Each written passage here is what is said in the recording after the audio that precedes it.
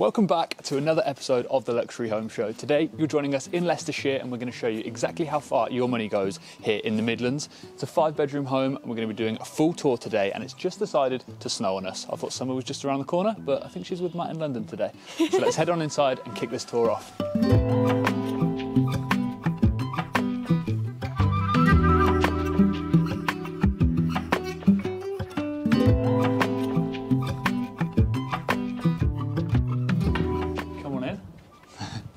Inside. Snow. Yeah, we have the powder room just here. We'll stick a floor plan up so you can get your bearings.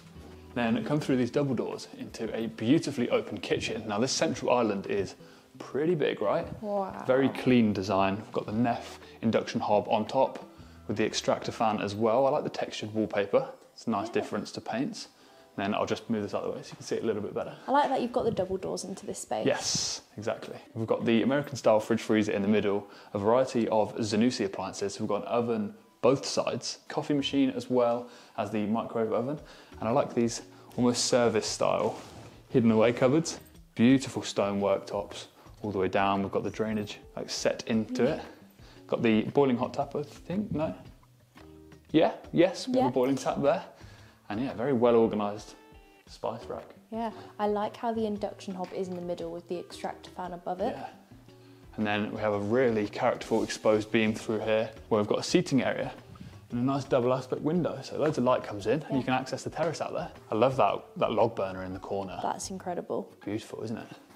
Then a really high sort of vaulted ceiling when you come through here, just opens up. Dining area here, but we also do have a dining area separately through that way. Let me take you through to the utility room. So separate access point to the house. I can imagine that's great for walking dogs, things like Oh, that. You can come in, keep it nice and tidy. And it also keeps those washing machines hidden. Come through here, this is one of my favourite rooms. So this is like a media room, games room. I can imagine this would be where I come to watch the football, the F1, anything like that, some sports. Yeah, it'd be a great room for that. We've also got a drum kit here too.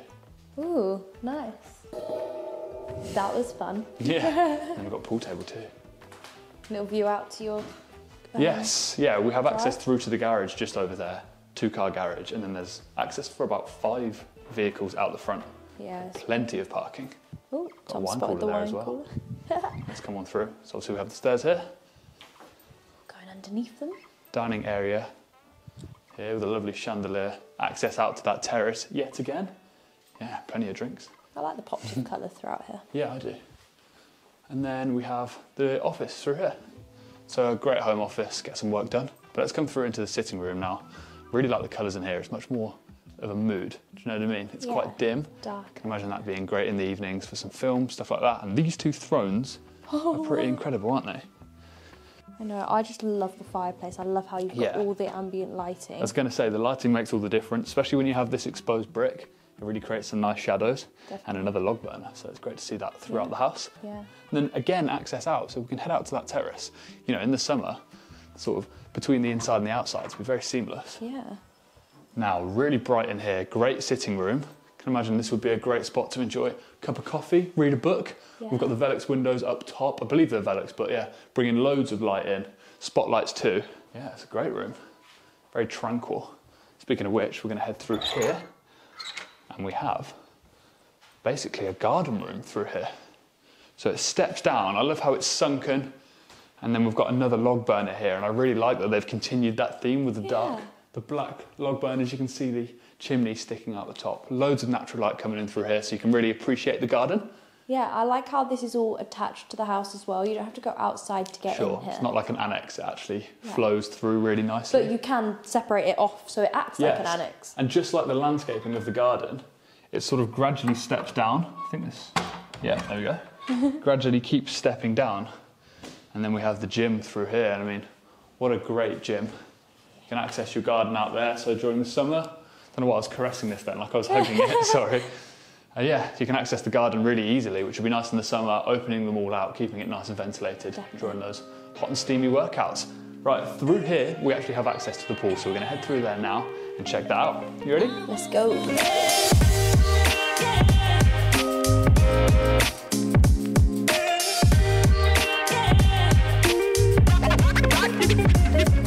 Said out the front when we first started this video how much further your money can go in the Midlands compared to places like London. Now this property is worth 1.175 million pounds, so just over a million, and you have a pool here. Can you imagine how much this would cost in London? So it's an indoor heated pool, really characterful with the exposed beams hanging down. We've got lighting, speakers in the ceiling, bifold doors all along this edge as well, so loads of natural light coming in. Jas, should we pop out and have a look back at the property? Yeah, let's go.